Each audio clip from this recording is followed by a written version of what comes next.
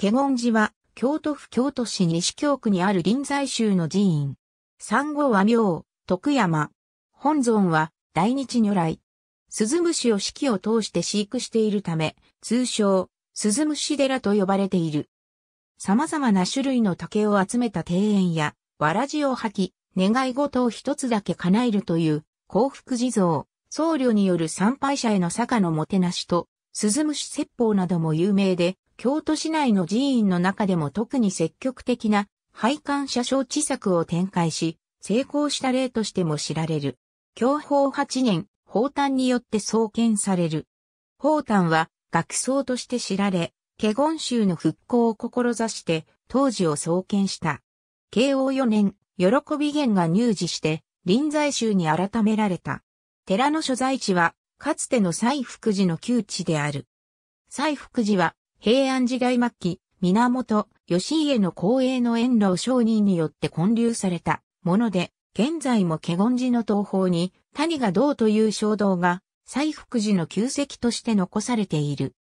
鈴虫の飼育は先代住職が鈴虫の音色に禅の悟りの境地を感じて開始したとされるが、年中の飼育は卵や成虫の温度管理の試行錯誤の成果とされる。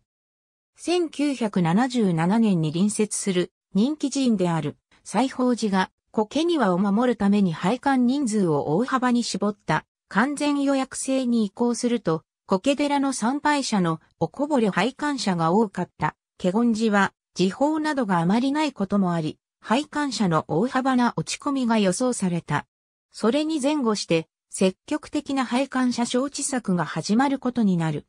今では、スズムシの数は季節によっての増減はあるが約1万匹が常に成虫の状態である。今では、スズムシ説法でも有名になり、ホームページ上での悩み事相談などがあることもあり、特に女性に人気の寺院となっている。大広間の入場定員がある、約30分のスズムシ説法があるため、シーズンの週末などはかなりの入場待ち時間が発生する。寺では公式ホームページで混雑予想を発表している。京都府京都市西京区松室地下町31。ありがとうございます。